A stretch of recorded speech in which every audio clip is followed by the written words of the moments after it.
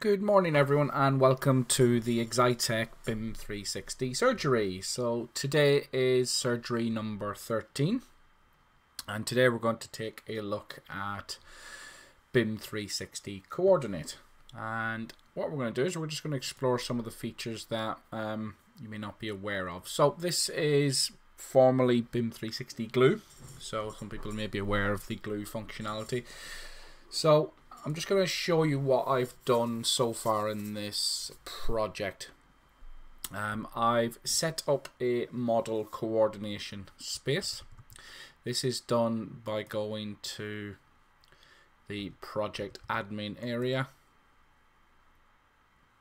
and you create a on a model coordination folder in the settings and you'll see that I've created a team review space in the plans area and in the model coordination folder. So what I've done is I've uploaded some Revit projects into this model coordination folder and if we click into it you will see there's a whole host of files already sitting in there. So just explain what happens when we upload a Revit project. You will see that the file names look a little bit different. Um, my project name is sur-exe-v1 so I've just got a standard naming convention. But you will see before that it says 3d sheet underscore. So what happens is the views that are in your Revit project also get imported into this coordination space. And that is because then we can use the 3D views to coordinate and view the model. So you will see that not only do all the sheets come in we also get all the views that are part of that project and that's why in this instance there is only three models loaded in here but all the different views and sheets and the 3D model all come in to this area. So what we can do is we can click as normal in docs and we can actually view a particular document but what I'm going to do is switch the module into the coordinate area. So I've got model coordination so there's sort of two aspects to this. There's one is where we can sort of coordinate models together and then the second part is where we can use that coordination to look at the clashes within the model. But I'm going to concentrate on the models tab first of all. So this loads in all the different views that I've just discussed. Um, and what you can do is you can use a search feature if you want to just search for a particular um, name of a file, you will see that anything with 3D returns the searches there. You also have over on the, the right hand side the ability to start turning off and on different criteria because it's maybe quite common that you might have hundreds of different views and models in here. So you can do it based upon contributor. You can also do it on a company and on a upload date. And you can also then click between whether it's just clashes or just your models. So the way that it works is to coordinate models together, you just simply select the corresponding view that you wish to look at. So in this instance, you'll see here that I'm going to look at the initial 3D view of the mechanical model and I click view and it will just allow me to load that model into the BIM 360 viewer and view it as normal. And then once you're viewing a model, you can look at the bottom. So this is sort of new stuff that came out this week. Is we have a save view button and then we've got add and remove model. So the add and remove model just allows me to then coordinate more models into the one that I'm looking at. So if I want to start looking at, let's say, a different 3D view from the architectural model, I can just click it on, select, and then 360 will coordinate both of them models together. So you can see I'm now viewing the mechanical and the architectural model. And the beauty of coordinate is that you've got all the functions that you normally have with the viewer. So I can just pull a section through it and you can see I can start to look in here and you can see I've got the architectural content but I've also now got the mechanical content. So at this stage, even with the section view added, I can go add another model and I can say actually add in the structural model. I click select and it's now added in the structural model so now I can have the section through it you will see that not only am I now looking at architectural. I've also, if we look up here, and I just, you can see I've got the mechanical information, and now I've also got the structural webbed trusses. So you can see you can really get in, see what's happening, and just coordinate all them different disciplines together within the viewer. This came out this week where it's the ability to save the view. So what this will do is if you see back here in the coordination space you've got all the different views so if I want to go and create these as a set and I can say okay give me the architectural and also give me the structural. So that's the three models that I want to view in the set. Click view. And then what the view will do it will allow me to categorize them and save that as a view set. So once this loads so I've got my three models loaded. I'm going to go save view. I can then give this a name. So I'm just going to say arch let's say plus MEP plus structure. And then I can actually control the privacy on this. So I can say that this view, if it's private, will only be available to me and the project admins.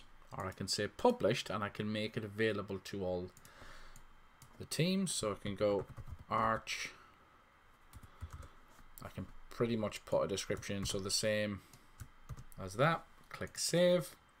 And you'll see that that has now saved that view. So when I click out, close down that particular coordination, you will now see if I go to the views tab and click it, you will now have this title. So if I click it, it will open up that view again only with them three models loaded. So it's a really quick way as you get into large scale coordination of models is that it would be a really, really quick way of doing that. You can also update the view, so you can actually change. So if I was to, let's say, add in or remove something, so if I, let's say, add in the lobby section view, select it, it's now loading the four models together. I can then update the view, give it a different name if I wish, and then save and update. So if we close out of that, and let's take a look. So you can see that the privacy is set, the four models. If I click the actual line of the view, you will see that it gives me a list of what models are included within this view, when it was created, who created it, I can open it or I can then delete it. So if I close that down, let's go back in and look at the models again. I can tick all off. So if we start looking at some of, let's say, the 3D plumbing, uh, we get in typical column we view that. Now these models probably won't coordinate together. They will just be two random views that are cut down within the model. So there's the two views that I've loaded. There's the column and then I've taken in a view of the MEP so what I could do there is click save view and I could go plumbing and column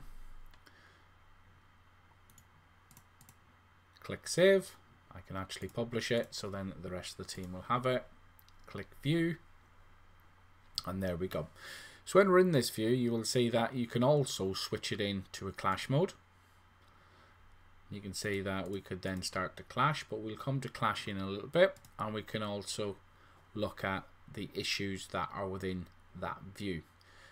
So if we come back out of this and let's say we go to our view, which is architectural MEP and structure.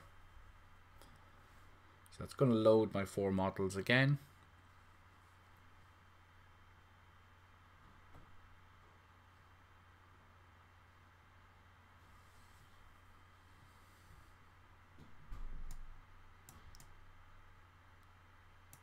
So there we have it. So within the viewer, you've got all the standard stuff that we have. You've got all the viewing tools, the model properties, all this stuff that you expect within the document management module where you can view documents. It's the same within the coordination space as well. You can see that if we click into issues, there's none found. But if we close out of this and we start to create some clashes. So the models is where we can click and coordinate the different models together. You will see you've got a little button here.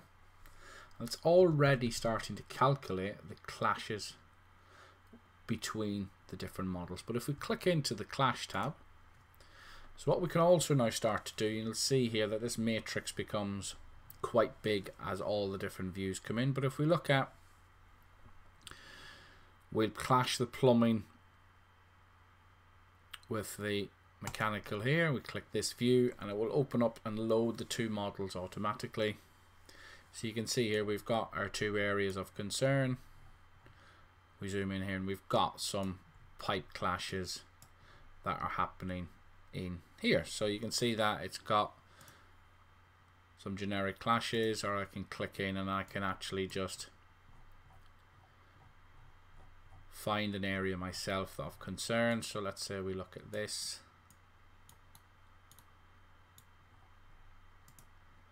And I'm going to use a zoom window.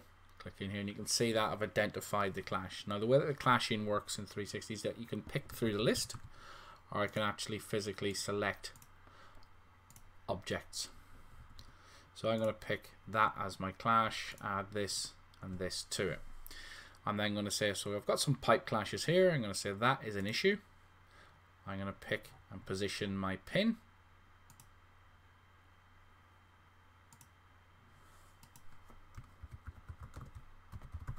To say there's a pipe clash, there's four in total. You can assign it to a different project member. And then I'm going to choose an issue date of here. So I'm going to assign that to my colleague Carl. Click create and then it will create that issue and notify that person. So when we close out of this, you will see that that clash is now assigned to this person. So you can see here it is. They can click the linked models that are linked together. But if we look at the views and we click in and we look at the models that we have coordinated together, that issue will then be available within that view. So once these load, you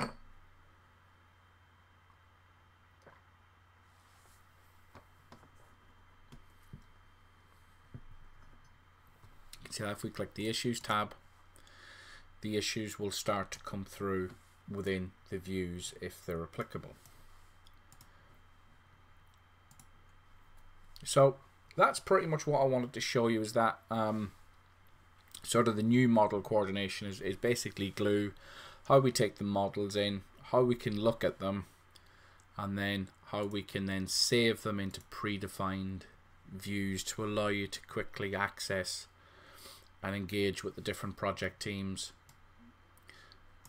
to coordinate and basically review and update your models to suit. So a pretty quick one today. Um, thank you very much for joining me. Um, join me again next week on the next BIM 360 surgery.